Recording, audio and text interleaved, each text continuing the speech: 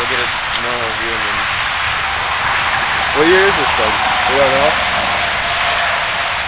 Yamaha, right? Yamaha golf cart. Seven inches of lift. eight inches. Eight inches of lift. All custom fabricated. Still a work in progress. Got the American flags off the back. Temporary gas tank. Got a 340 Kawasaki snowmobile engine.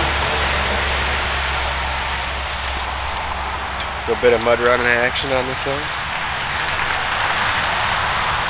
What size tires again? 22s? No? These are 18 and a half. No. What What are you gonna get? Oh, 22. Yeah, 22s eventually.